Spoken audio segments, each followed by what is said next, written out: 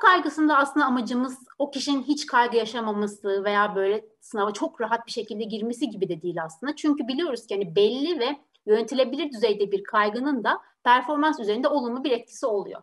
Yani bir aslında çan eğrisi gibi düşünebilirsiniz. Yani hiç kaygı ve stres olmaması bile yani çok kolay bir iş yaparken veya çok sıkıcı rutin artık rutin gelmiş bir iş yaparken ki ruh halinizi düşünün mesela. Orada da yani motivasyonun bir düşüklüğü oluyor karşılaştığımız şey. Kişiyi bir adım öteye götürecek şey aslında daha motive olup da performansını arttırabilecek şey aslında o biraz da orada yaşaması gereken kaygı gibi düşünülebilir. Bu şekilde çan eğrisi gibi düşünecek olursak aslında orta nokta bizim için hani yönetilebilir düzeyde, orta düzeyde bir kaygı varken performans aslında yüksek olabiliyor.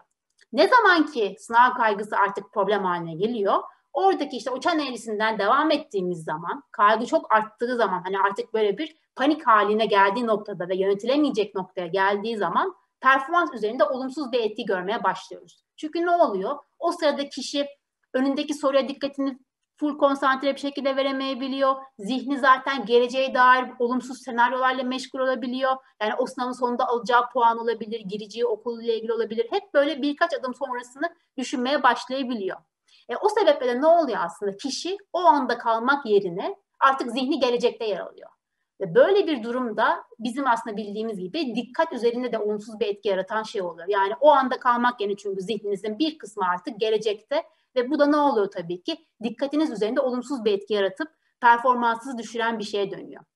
Çok sık duyarız mesela e, okuldaki sınavda veya denemede işte matematikte şu kadar hatası olmuş ama eve gittiği zaman o kişi birçok soruyu tekrardan baktığında doğru yapabilmiş. Burada da işte az çok tipik gördüğümüz bir örnektir bu.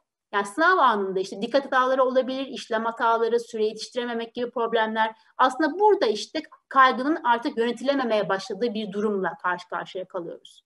Bu sebeple bizim hani kaygıyı tamamen kaldırmaktan ziyade istediğimiz şey olumsuz kısmını kaldırmak ve kişinin performansına olumsuz etkeden kısmını kaldırmak aslında.